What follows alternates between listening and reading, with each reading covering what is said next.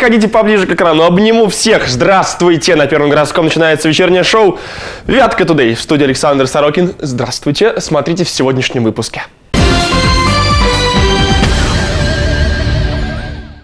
В Кирове найден дом рекордсмен по проблемам. Невозможно зайти в подъезд. Ведь сил нет. Ну, слушайте, я же не могу в таких условиях тоже вот это. Открываем новую новостную рубрику для детей. Эй, привет! Меня зовут Газеткин, и я нахожусь под столом студии новостей. А также шок и сенсация. Оксана Стяжкина села. Можно отдохнуть на таком мягком, удобном диванчике. О, не мягком. И разбираем по полочкам модные луки кировских чиновников. Ну, начну, собственно, с новости. Пресс-секретарь ИО губернатора сама оценила свой лук. Начнем программу с двух новостей, с хорошей и плохой. С какой начать? Конечно же, с плохой. Всех интересует сенсации, шоки и расчлененка. Плохая новость. Э, во дворе дома номер 16 по улице Горбуновой все плохо. Хорошая новость. Настолько плохо, что этот двор стал рекордсменом по проблемам. А Подробнее Оксана Стяжкина. А, как я вас заинтриговал. Нет? Ну, все равно смотрите. Невозможно зайти в подъезд. Ведь сил нет.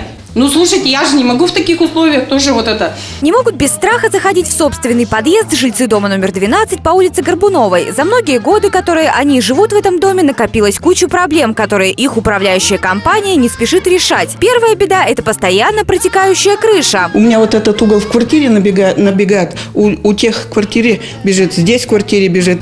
До 12 года, до 12 никто к крыше не прикасался. Когда мы сделали за свой счет практически ремонт крыши железом покрыли, ее продолбили. И сейчас вот через эти дырки снова бежит. Вот смотрите, сырой же потолок. Вторая проблема – прогнившие лестницы, которые не ремонтировали много-много лет. Проваливался туда все. Все сгнило. Вот тут вот провалился у меня сын. Шел и провалился, он нес не знаю что-то. Просто ступенька провалилась. Ну, хорошо, не, не совсем, и не поранился. Лестницы вот только сегодня сделали, видите?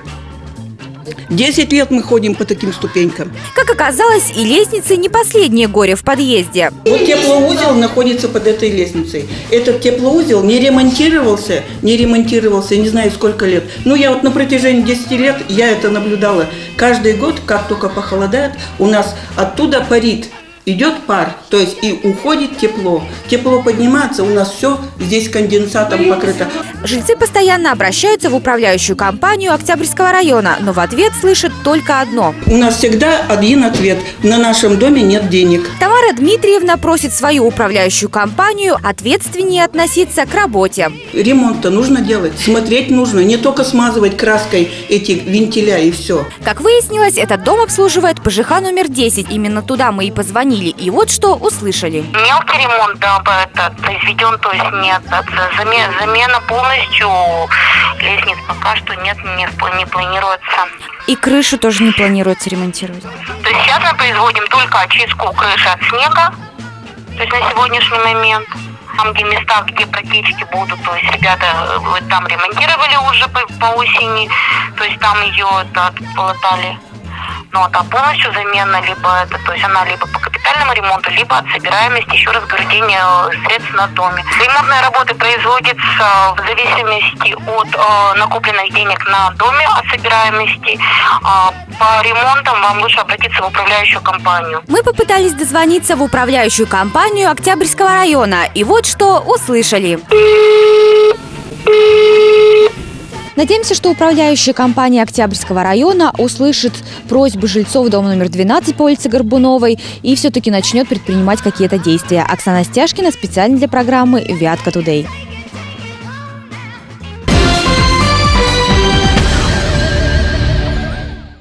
Позвольте немножко размышлений вслух. Наша программа, а точнее редакция Вятки Today, охватывает максимально большую аудиторию людей. Разберем. Роман Корнеев, э, любимец э, женщин за 35. Александр Сорокин – это кумир молодежи, подростков, в общем, э, всех самых-самых классных, я вас люблю. Оксана Тяжкина привлекает мужскую аудиторию. Саша Светлик – хороший парень из Советска. Вот. И ни один из нас не, э, не работает для детской аудитории. Нет у нас ничего для детей, абсолютно. С сегодняшнего дня мы исправим эту проблему и запускаем новую рубрику «Новости под столом». Взрослые новости, рассказанные детям их языком.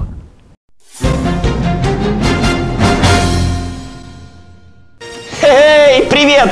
Меня зовут Газеткин, и я нахожусь под столом студии новостей. Давайте почитаем новости.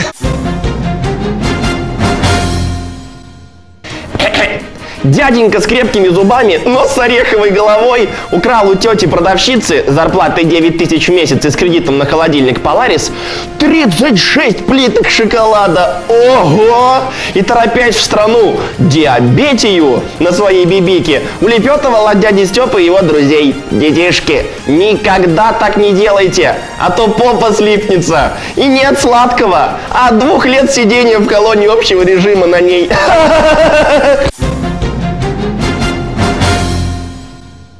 Это были новости под столом, и я ее ведущий Газеткин.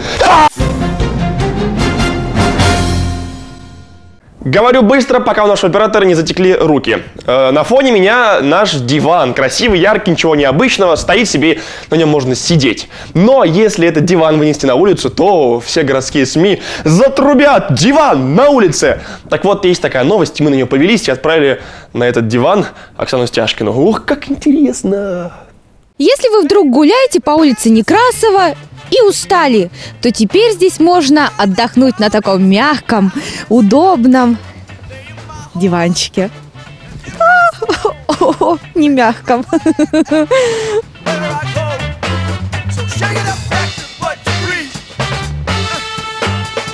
Теперь здесь можно посидеть и так, и так, и даже так. Ну, смотрите, какой диванчик. Да, я уж заметил. Ну и как вам? Хороший, красивый. Спинок не хватает. А пойдемте обсидим его. Ой, да некогда мне, честное слово. Присядем, отдохнем. Ой, нет, спасибо, я тороплюсь. Ну, диванчик. Не надо мне. Почему? Да не хочу я, что мне сидеть-то? Хорошая идея. Вот так вот идешь, идешь хоть отдохнуть. Ну, мне-то, я не отдыхаю. Не устаете, что ли? Да я молодой еще. Дедушки пусть сидят, бабушки сплетничают. А мы молодые. А мы молодые должны бегать. Итак, проверяем диван. И эксперт Иван, присаживаемся. Ну как? Твердый. Это значит? Плохой. Очень хороший диван, очень хороший диван. Может, домой кто-то возьмет? Нет, мне уже ничего не надо. Ну что, Рэй, давай, как тебе? Пару слов. Доволен? Я думаю, что очень даже.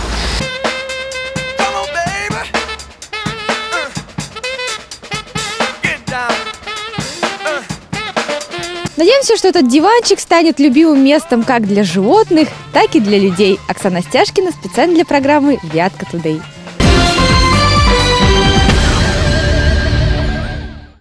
Но закончим программу интересной новостью. Пресс-секретарь в Рио губернатора объяснила выбор своего гардероба. Можно ли картиночку, пожалуйста? Руководитель пресс-службы правительства Кировской области и советник главы региона Юлия Шевцова рассказала, зачем она носит обтягивающие кожаные штаны с металлическими молниями и меховую шубу и шапку. Тут сделаем паузу. Интересно, почему наша программа за пять лет существования ни разу не обсуждала модные луки кировских чиновников? У нас даже на канале есть такая программа целая «Страна советов», где модные эксперты обсуждают всевозможные образы э, кировчан. Сегодня исключительный момент, когда эти модные эксперты будут обсуждать модные луки кировских чиновников, в том числе и Юлии Шевцовой. Посмотрим. Ну, начну, собственно, с новости. Пресс-секретарь ИО губернатора сама оценила свой лук. Так говорит Юлия теплее. Но что же скажут на этот лук наши модные эксперты? А, кстати, кто они? А вот кто они. Анна Дрягина, стилист, фэшн-блогер, основатель фэшн-проекта Street Style Киров. Дмитрий Коротовских, саксофонист, город Санкт-Петербург. Елизавета Машонкина, руководитель студии моделей, обладательница титула «Российская красавица» Приволжского федерального округа. Итак, пресс-секретарский лук и слова наших модных экспертов. Очень необычный образ, очень теплый, вот именно на зиму как будто его хочется надеть. Там музыку поставьте, пожалуйста, когда я буду это говорить, что сейчас возвращение Будулая ту-тру-ту-ту-ту. На самом деле, вот лучше бы она что-нибудь, какой-нибудь пиджак бы одевала. Но вот это вот мех мне не очень нравится. Штаны ей более-менее подходят. Может быть, я штаны бы здесь заменила, но в принципе вот хорошо смотрится на ней. Но это, дорогой мой заэкранный дружок, не единственный модный лук, который мы нашли на сайте правительства Кировской области. Вот еще один кадр, в котором чем дальше, тем моднячий. Несмотря на то, что брюки такие фактурные, хотелось бы какой-то тоже более интересный верх. Мне кажется, в Чепецке бы она на дискотеке была бы лучше в таком наряде. Но на самом деле, вот из тех всех нарядов, которых она выбрала сама, вот это вот единственный более-менее адекватный, если бы не вот эти полоски на ребрах. Начнем с обсуждения первого красивого и очень харизматичного персонажа на этом фото. Ну, блин, ну это же такой самый простой, наверное, самый популярный образ, который ходит в Кирове, в Петербурге и в Челябинской области, в городе Мясе. Что-то хочется наверх надеть, чтобы было потеплее. Либо тот же бомбер, либо добавить какой-то жакет. Для повседневного образа мог быть кардиган бы поверх накинут. Ну а закончим самым вкусным, трендовым и лакомым луком на этом кадре. Учитывая, что половина Кирова ходит не пойми в чем, то это еще хорошо. Очень нравятся мне комбинезоны, особенно черного цвета, подчеркивают фигуру. Но мне этот образ очень нравится. Каблуки здесь действительно хорошо дополняют, аксессуары здесь все есть. Страна советов. Добрый вечер. Вятка Тудей, доброй ночи. Фу, Сань, я больше нафиг никогда в карты на желание играть не буду. Это пиндык какой-то. На сегодня это все. Если у вас есть интересная информация, вы знаете, что с ней делать. Ну, ну и мне ли вам это говорить? Внизу адрес электронной почты, телефон. Просто сообщите нам, мы с удовольствием покажем все в эфире. Меня зовут Александр Сорокин. Я говорю вам пока. Это было вечернее шоу. Тут подсказка опять же. Вятка Тудей. Увидимся завтра. Пока. Пока.